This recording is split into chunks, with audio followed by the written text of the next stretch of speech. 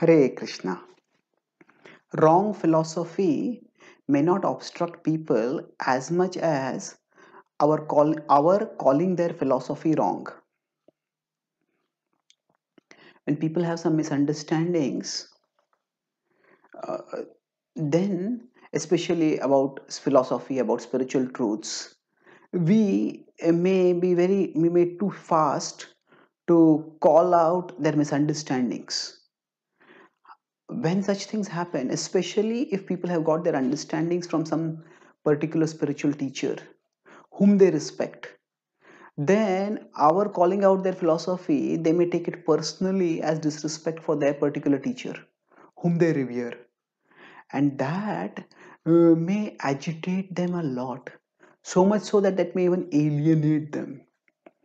If we don't want to alienate them like this, we have to be cautious. Krishna says in the Bhagavad Gita that Anudvegakaram Vakyam speak in a way that does not agitate people's mind. That is austerity of speech. 17.15 he says in the Bhagavad Gita. Further, or even before that, in 3.26 he has said, Na buddhibhedam janayed ajnanam karma sanginam joshayed sarva karmani vidvan yukta samacharan. He says, that don't don't disturb the minds of people who are ignorant and who are attached. So this very precisely describes the situation of many people.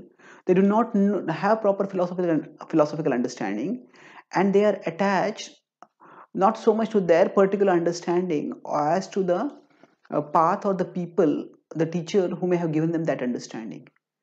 And if we criticize that na buddhi bhedam we don't krishna is saying that it will not work out productive it will not be productive. Instead don't disturb their minds. Just engage them in a way that they can be gradually elevated. What this means is many people come to spirituality for many reasons other than philosophy. They come for camaraderie they for come for culture they come for community they come for a sense of purpose they come for a sense of connection and contribution. And uh, philosophy is just one purpose. So if philosophy is not a primary purpose in their coming to krishna then even if their philosophy present philosophy is different from the bhagavad Gita's philosophy if they have some attraction to krishna then that is what will bring them to krishna and the philosophy may not be a major obstacle.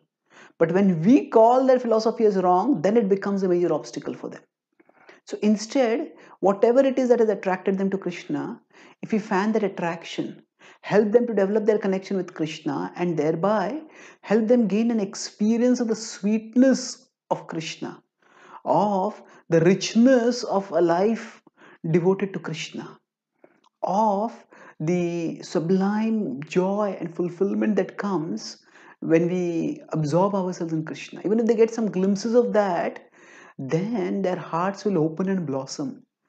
And then uh, they will themselves become more receptive to re-examining their own philosophical preconceptions. So there is a time and a place for everything. And the most important thing is not to correct people's philosophy but the most important thing is to connect people somehow or the other with the goal of all philosophy. That is krishna. Thank you. Hare krishna